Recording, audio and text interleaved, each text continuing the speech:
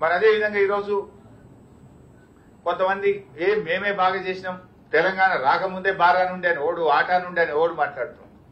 వాస్తవాలు మాట్లాడుకుంటే ఇందాక మా దయాకర్ చెప్పినట్టు ఆ ఉన్నది కూడా ట్యూబ్ వెల్స్ ద్వారా ఇచ్చేవాళ్ళు.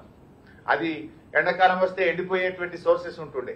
అది హండ్రెడ్ పర్సెంట్ రెలియబిలిటీ లేనటువంటి సోర్సెస్ నుంచి కూడా కొన్ని అక్కడక్కడ ప్రాజెక్ట్స్ ఉండేవి. వాస్తవానికి చూస్తే రెండు వేల పద్నాలుగు నాటికి తెలంగాణలో ఐదు వేల ఆరు వందల డెబ్బై రెండు గ్రామాల్లో త్రాగునీటి సరఫరా ఉండేది. ఆ ఐదు వేల ఆరు వందల డెబ్బై రెండు కూడా ఎండాకాలం వస్తే ఎండిపోయేటి కొన్ని. భూగర్భ జలాలు కొన్ని. అవి సర్ఫేస్ వాటర్ కావు. కానీ ఈ రోజు ఇరవై మూడు వేల ఎనిమిది వందల తొంభై ఆవాసాలకు నీళ్ళు ఇస్తున్నాం. ఆ రోజు ఐదు వేల ఆరు వందల డెబ్బై రెండు ఉంటే ఈ రోజు ఇరవై మూడు వేల ఎనిమిది వందల తొంభై ఆవాసాలకు నీళ్ళు ఇచ్చి ఇలా ప్రతి ఆవాసానికి కూడా ప్రతి ప్రతి కుగ్రామానికి కూడా నీరు అందించినటువంటి ప్రభుత్వం టీఆర్ఎస్ ప్రభుత్వం.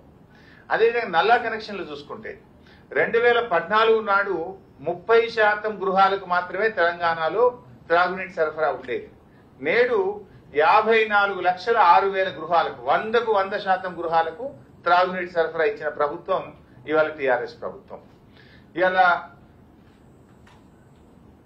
పట్టణ ప్రాంతాల్లో కూడా మరి మున్సిపల్ డిపార్ట్మెంట్ ద్వారా బల్క్ వాటర్ సప్లై ఇస్తూ అక్కడ కూడా ఇంటింటికి నల్లాలు పెట్టి నీళ్ళు ఇచ్చే కార్యక్రమాన్ని తీసుకున్నాం. ఇక ఎన్ని విషయాలు వచ్చినాయంటే డబ్ల్యూహెచ్ఓ చెప్పింది. ఇలా వర్షాకాలంలో ముఖ్యంగా సీజనల్ డిసీజెస్ కలుషిత నీరు వల్ల అరవై శాతం రోగాలు వస్తాయి అని డబ్ల్యూహెచ్ఓ చెప్పింది. గతంలో మనం చూసేవాళ్ళం మంచం పట్టిన మాన్యం. జ్వరంతో వణికిపోతున్న ఆదివాసీ గ్రామాలు గోండు గూడాలు లంబాడి తండాలు అని పత్రికల్లో టీవీల్లో పెద్ద పెద్ద వార్తలు వచ్చేవి.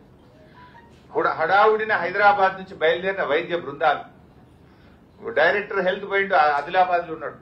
డైరెక్టర్ మెడికల్ ఎడ్యుకేషన్ పోయిండు ఖమ్మంలో ఉన్నాడు అని వార్తలు మనం చూసేవాళ్ళం. ఇవాళ ఎక్కడున్న పరిస్థితి ఉందా? ఇన్ని వర్షాలు పడ్డాయి ఈ సంవత్సరం అత్యధిక వర్షపాతం నమోదైంది ఈ సంవత్సరం. ఎక్కడ కూడా సీజనల్ డిసీజెస్ లేవు అంటు రోగాలు లేవు. Because of mission Bhagiratha.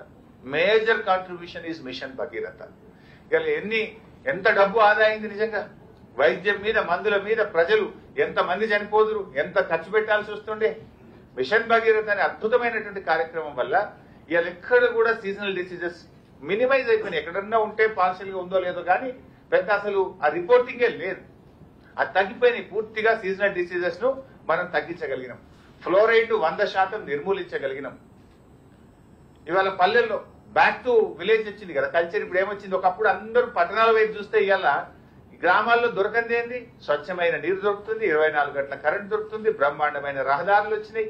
So facilities improve అయిన తర్వాత no people are going back to the villages పల్లెల్లో పోయి మా పాత ఊళ్ళో ఇల్లు కట్టుకోవాలని ఇల్లు రిపేర్ చేసుడు ఇల్లు కూలిపోతే చిన్నగా రూమ్ వేసుకునుడు పాత భూములను మొత్తం కూడా మంచిగా వ్యవసాయం పునరుద్ధరించి సాటర్డే సండే వస్తే they are going back to the village ఇది ఇది ఏడేళ్ళలో టీఆర్ఎస్ ప్రభుత్వం సాధించిన విజయం ఇది.